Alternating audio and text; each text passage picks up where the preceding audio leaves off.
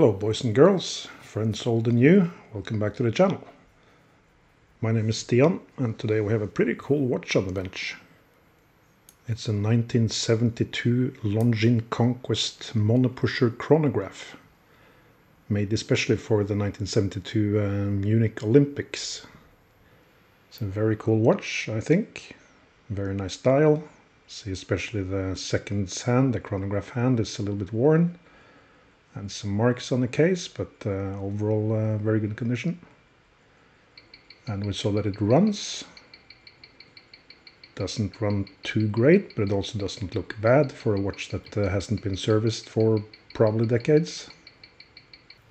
Use our sticky ball to open the case. And voila! Longines 334. Or wait, is it? It looks suspiciously like the Valjoux 236. Oh well, it's not uncommon for uh, manufacturers to do this. Basically the only change Longines did was to take away the small seconds. So it's uh, Valjoux 236 movement at its base, which is of course still a very good movement. Get all the hands off and a dial and we store that securely and then we can start looking at how the chronograph works. So this is a monopusher chronograph and what that means is that one button makes everything possible. And just to clear up any confusion, it doesn't actually make everything you would like to happen possible. Sorry about that. But uh, everything a chronograph does, that one pusher does. So the same button will start the chronograph, it will uh, stop it, and will reset. And it will always do exactly that. So there's no possibility to, uh, let's say, pause it and then uh, restart it. So always the same uh, sequence, one, two, three, start, stop, reset. That also means that everything is controlled by the pillar wheel. There's no opportunity to have any separate action because everything needs to go through the pillar wheel. So that also has a consequence for how we're gonna take apart the chronograph mechanism, given that everything is a little bit more intertwined than in uh, most uh, chronographs. As you might uh, guess, the monopusher was the uh, original chronograph, if you will. It was uh, Breitling that made the first uh, two-pusher chronograph uh, just before the Second World War. Be sure to check out the Breitling Navitimer video, by the way. Beautiful watch and a very interesting movement as well. For chronographs, it's a good habit to put the screws back in place after taking the part off, but it's not a good habit to let the screws lie loose on the plate while doing so. Ping ping! Ah, the elusive double ping. Anyway, we found the parts back. They don't go very far, but uh, still not a good habit. When taking uh, this uh, chronograph bridge off, important to be careful with the pivots. It's uh, not too difficult to break them.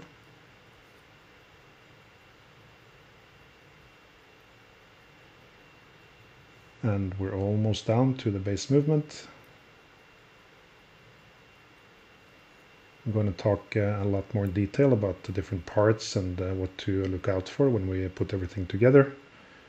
For now we basically just unscrew everything and try to keep a little bit uh, track of what goes where. As with all mechanical watches, uh, there's perfect logic in what the parts do and uh, how they do it. So once you understand that, it's uh, not too complicated putting a chronograph together again but finding a manual or videos on how to do it is always useful. We're putting in this little metal plate so that we have a base to press against for this uh, Presto tool to take the chronograph driving wheel off. That is a pivot that is also quite easy to bend or break. We're checking the end shake and side shake. So basically how much slack there is in uh, the bearings for the wheels. Should be a little bit, but not a lot. And when we take the three quarter plate off, we see the train of wheels. So it's always a nice thing to see, I think. Just very fascinating.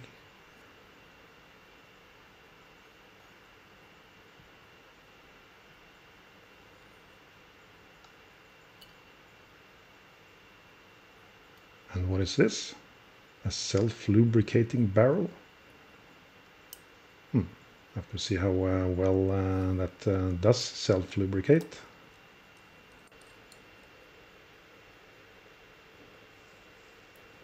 One thing that can happen is that uh, the Incabloc spring comes loose, as did here. So we're going to have to put that one back afterwards. Don't bother with that now, we're going to clean the movement anyway. It can be quite tricky to get in place, so uh, we'll look at that.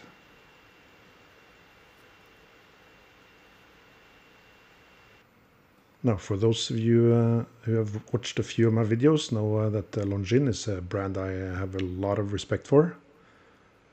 If you haven't done so, uh, check out uh, some other Longines videos on my channel. But what I'm getting at is that uh, maybe it's a little bit of a surprise that this is not an in-house Longines movement, given how many fantastic in-house movements they made. They also made some uh, fantastic uh, chronograph movements, but most of those were in the earlier days. So I don't think uh, Longines made uh, any uh, in-house chronograph movements after the Second World War. I might be wrong. If I am, then uh, please let me know in the comments. Now let's look at this self-lubricating barrel. How good is that self-lubrication? Turns out it's amazingly good. Look at this. This is fantastic. I didn't know anything could uh, self-lubricate quite that much. It's actually so much self-lubricated we need to really clean it. And yes, you do come across this uh, so-called self-lubricating barrels uh, every now and then. They often say do not open. So obviously the first thing we do is to open them. We need to also peg the jewel holes. They are uh, not too badly congealed or anything, but uh, still good practice. And then we can fill up the entire basket.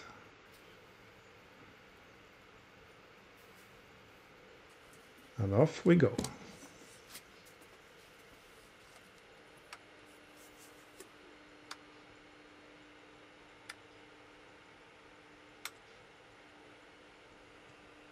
And while the machine does the cleaning job for us, let's uh, have a look at the case. I'm going to take uh, the old gasket out of the case back. And for the case itself, we're going to unscrew the pusher. Most pushers are like this, screwed into the pusher from the inside. And then we can uh, put all of that in uh, the ultrasonic.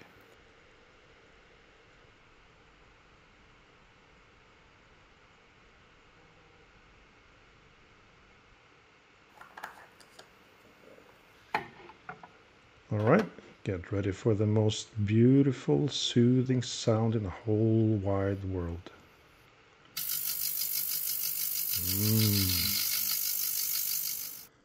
So with the movement back from the cleaning machine, let's uh, first put in the, the, mainspring. We're using this uh, mainspring winder, which uh, is a tool with a set of uh, barrel sizes. So we find the one that matches the best needs to fit inside the actual barrel. And with the mainspring inside that uh, barrel in the tool, we can press it down into the actual barrel. Now a small problem with this barrel is that uh, the barrel arbor has a very long end. What that means is that it's not easy to get uh, the barrel hook into the uh, eye of uh, the inner loop of the mainspring. So what we can do then is to uh, place the barrel arbor with the hook outside the loop and then we use a pin vise to uh, rotate it in place.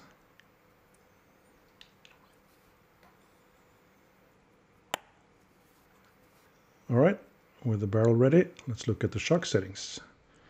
We can see here that uh, one of the stones is clearly thicker than the other. And when that is the case, then as a rule of thumb, the thicker one goes in the balance. If one of them is wider than the other, then the wider one is also typically in the balance. So the thinking is that uh, the watch is more likely to rest against uh, that uh, end stone. Given that the dial is probably up. So that's why they have a little bit extra uh, protection there. Now if the Incabloc spring has come loose, as uh, ours did, there are two openings on uh, opposite sides of the block. So we can gently fit the T end of the spring in one end and then the two prongs on the other side. And these springs are extremely pingable. So be very gentle.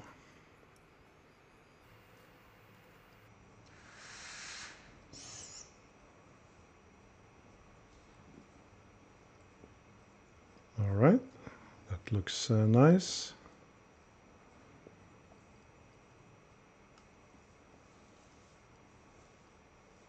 Then let's uh, start building the base movement. First thing we do is oil the barrel arbor on both sides. When we put the oil into that small opening there, the capillary action will uh, sort of suck the oil in. So that works nicely.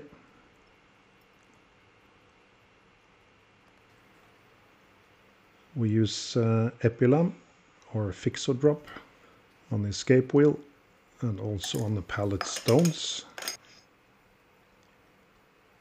And then we're going to put the pivot ends into some uh, pithwood and that's to clean off any residue.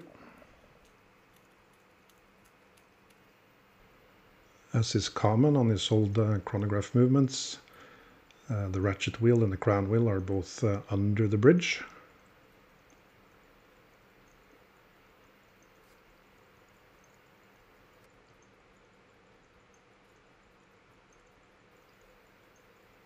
We're putting some D5 or uh, HP 1300 on these different posts.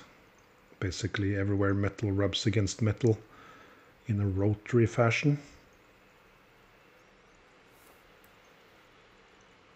Where there's more uh, pressure, so uh, like in the keyless works for instance, there we use uh, 9504 or 8200 or some sort of grease. Molykote DX, also popular.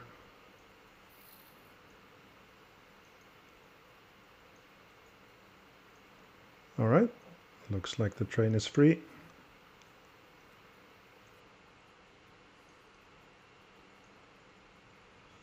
And when you're working on watches, then uh, OCD is definitely your friend. Good to be a little bit obsessive about making sure you don't break any pivots. We're on the dial side. First thing I like to do is put uh, the cannon pinion back on. If you do that first, then you won't have the problem of the cannon pinion uh, possibly mangling some of the teeth in the minute wheel.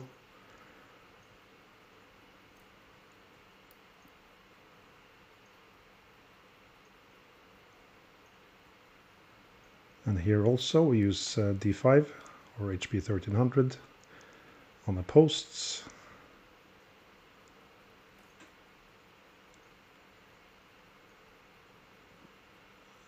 Another thing to uh, take note of for these old chronograph movements is that there are quite a few screws. And um, a lot of these screws are shouldered. And when you see a shouldered screw that basically means that something is rotating around the shoulder. As we saw there for instance uh, with the yoke. So that's a good way to uh, keep them apart if you need to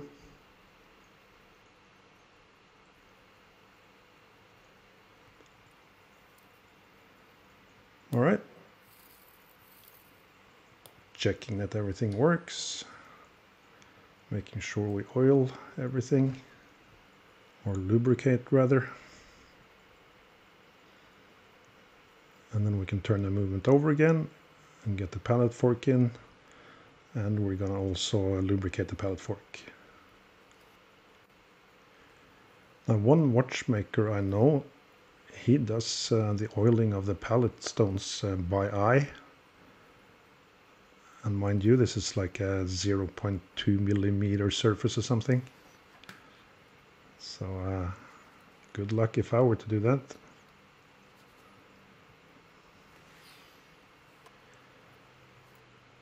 Okay, we got the balance back in. We're gonna oil the different pivots. We use uh, D5 or HP 1300 on uh, the wheels closest to the center wheel. And then 9 to 10 for the rest. Okay, with a good wind, we're going to demagnetize the watch and then uh, see how it runs now. Might remember that it ran pretty okay before. Not very good amplitude and too fast, but uh, the lines were relatively straight. And we see the watch uh, runs very well. It's really good. But uh, let's uh, go a little bit further and look at the positional errors. If the watch is uh, timed at 9 o'clock up or 6 o'clock up, we see that it runs much too fast. And the main reason for this is typically that the hairspring is not positioned properly inside the index pins. It's not so easy to uh, really film this, but if we zoom in we can see that the hairspring is resting against that uh, inner index pin. And also you can see that there's much too much space between the index pin and the boot on the left side. So what we do to rectify that is to simply press on uh, the hairspring on the opposite side. And we can reduce the space for the hairspring by simply uh, pressing the index pin a little bit closer to the boot. So after making these changes, this is dial up that little shaking in the camera is that we change the position and then we need to uh, let it find its balance. After about 30 seconds it will be stabilizing. And we see it's uh, more or less flatline. This is 9 o'clock up. And now we're going to uh, 6 o'clock up. And then it looks much more stable. Now this is an unadjusted watch which means that it's never really made to run at exactly the same rate in all kinds of positions. But we always want to check uh, dial up, and 9 up, and 6 up. Because those are the three most common positions that a wristwatch is uh, held in. Alright, with the base movement running nicely, we can uh, start with the chronograph. First put in the chronograph driving wheel, And for this particular uh, movement, we're going to start with a pillar wheel.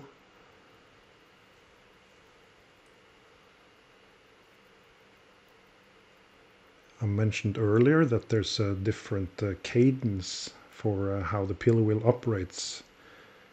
So with the monopusher, it's uh, one, two, three, and it's only at the third step that the hammer can be released, or actually it's always released.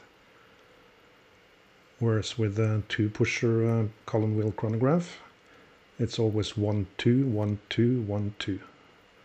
And that's start, stop, start, stop, start, stop, start, stop, stop, stop, stop, stop, stop, stop, stop, And in a two pusher column wheel chronograph, the reset can also only happen after the watch has been stopped. Now the way all this is uh, managed is that at the end of this uh, clutch you can see there's uh, like a little beak going towards the pillar wheel. On the other end here is what looks like a screw but it's actually for adjusting the depthing between the driving wheel and the clutch wheel. So that's an eccentric. By uh, rotating that a little bit you can uh, make the depthing um, bigger or smaller. I'm going to point out the different eccentrics as we go along as well. And we're already at the next one. This eccentric adjusts the depthing between a clutch wheel and a chronograph wheel in the center. And uh, as mentioned in the Mirexal video, if the depthing is uh, fine, then don't touch the eccentrics. Because you'll often find yourself uh, adjusting all of them if you start adjusting one. And that can be quite a hassle. We put in the intermediate minute uh, counter wheel. And I almost forgot this eccentric which adjusts the depthing between the intermediate uh, minute counting wheel and the finger on the chronograph wheel. Very important to have this one right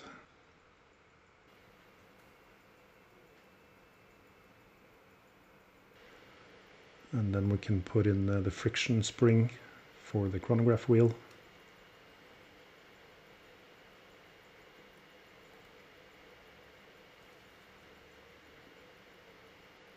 and the minute counter wheel.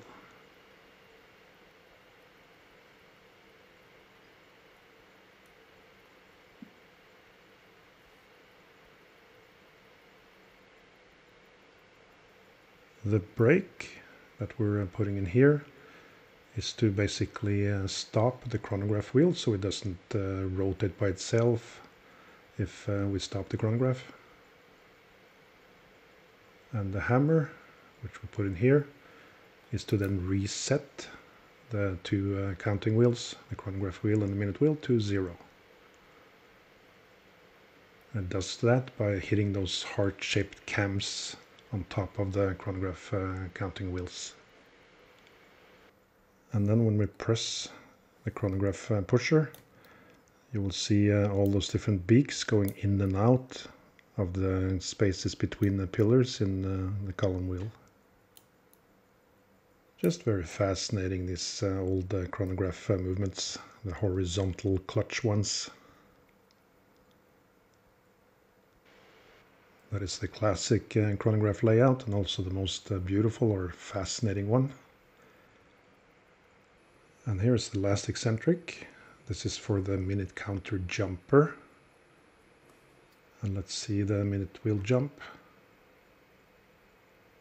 and we saw this little extra movement there from the finger on the chronograph wheel which means that we have to uh, pull the intermediate uh, minute counter wheel a little bit away so that's an example of uh, the eccentric adjustment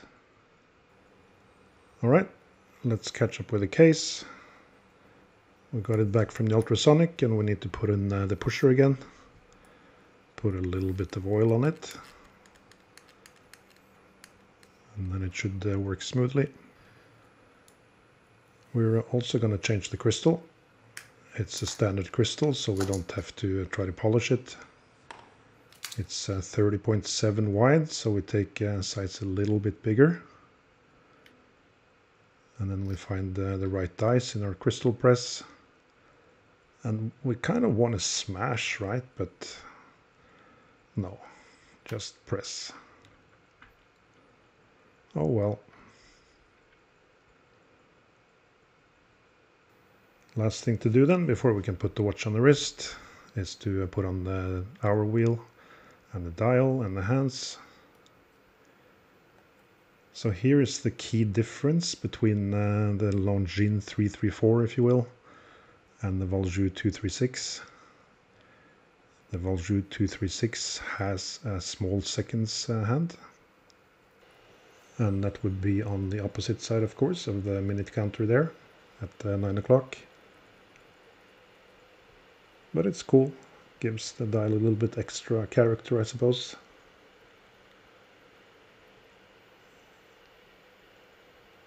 There's no uh, date on this uh, movement so uh, we don't have to worry about uh, setting the hands at uh, midnight. But it's kind of old habit we do it anyway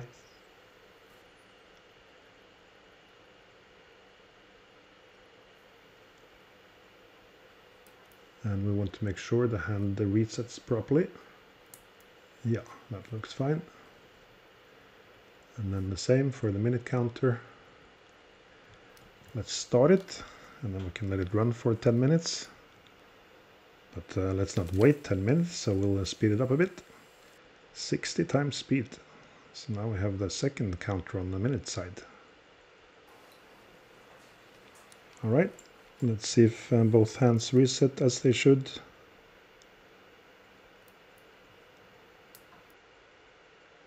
Yeah. All right, then we can uh, case the movement and we're pretty much done. Just need to uh, replace the gasket in uh, the case back, put the stem in place and the case screws.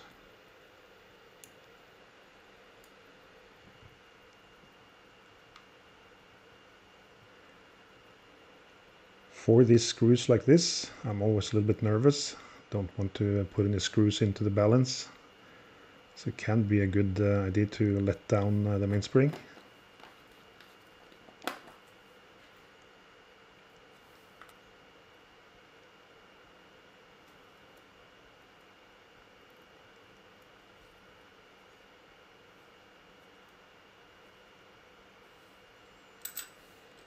And with that uh, lovely case back on, we're ready to wear the watch. Well, we kind of need a strap, I suppose, but uh, let's not get bogged down in the details. And there we have it. A very cool watch. That asymmetric dial is really uh, something special. Case is in a very good condition and it would be very difficult to do anything about it anyway given uh, the finishing it has. I hope you liked this video. If you did, then uh, share it on Facebook and wherever you can. Leave your comment and a like and subscribe. We'll be back with another video shortly. Until then,